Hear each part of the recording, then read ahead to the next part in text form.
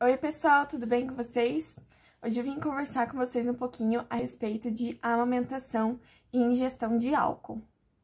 O ideal é que a mãe que amamenta fique pelo menos até os 3, 4 meses sem ingerir bebida alcoólica. Após esse período, algumas mães desejam ir ali em algum momento com o esposo, ou em algum momento com as amigas, com algum familiar, é, beber uma tacinha de vinho ou beber uma taça, um copo, né, de cerveja, uma dose. E aí, a minha função aqui é orientar essas mães como é, fazer, né, para amamentar e beber essa dose de bebida alcoólica. Em momento algum, estou aqui para incentivar é, a amamentação e o uso de bebida alcoólica, ok?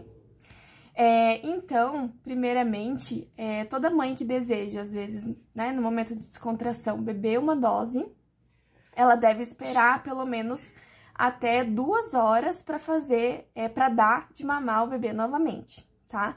Então, se ela bebeu duas doses de bebida alcoólica, o ideal é que essa mãe espere, então, quatro horas para dar de mamar e assim consecutivamente. Então, para que isso aconteça, é importante que essa mãe se programe.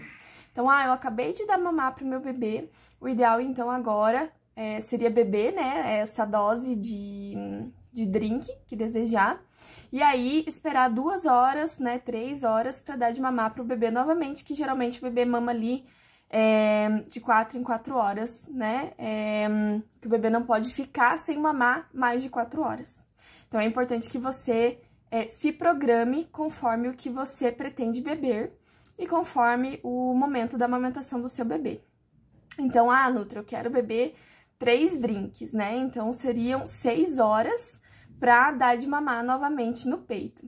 Como que eu posso fazer? Você pode estar, tá, então, é, fazendo a estocagem desse leite materno. Então, você vai fazer a, a extração manual e vai guardar esse leite para ofertar para o bebê no horário que ele quiser mamar, ou com copinho ou com a colher dosadora ok?